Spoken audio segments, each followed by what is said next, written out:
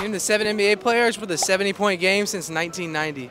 Devin Booker. That's one. Kobe, That's two. Damian Embiid. Lillard, yeah, Embiid. That's four. Yep. You said 19, what, 70, 90? 90. 90? Well, oh, 1990. Someone just got one this year. I think. Yeah, I mentioned Luca. Luka. Oh, yeah. that's who I was thinking. Two of. more guys. Let me get a Spud Webb.